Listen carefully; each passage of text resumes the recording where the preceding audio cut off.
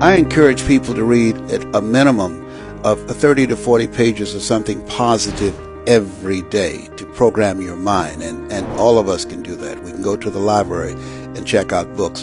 When I think about Og Mandino, who wrote The Greatest Salesman in the World, he was on the verge of committing suicide. Went wow. to the library, read the book Think and Grow Rich, and his life turned around. So reading and programming ourselves.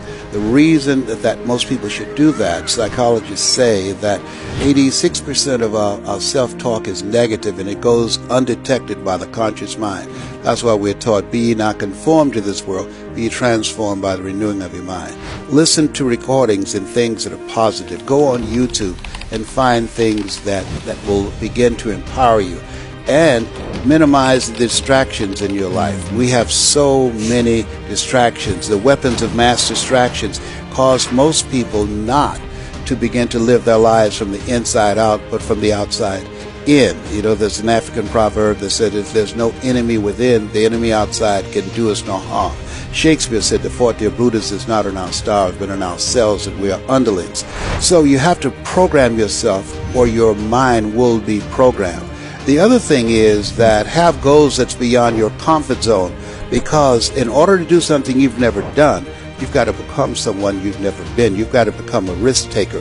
This God said if you're not willing to risk, you can't grow. And if you can't grow, you can't become your best. And if you can't become your best, you can't be happy. And if you can't be happy, then what else is there?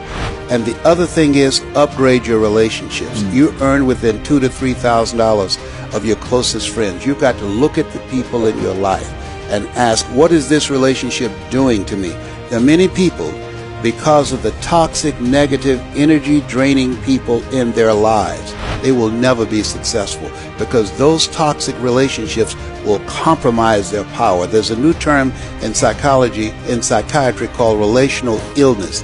There's some people that can make you sick. Now, some people might say, Les, can we change them? No.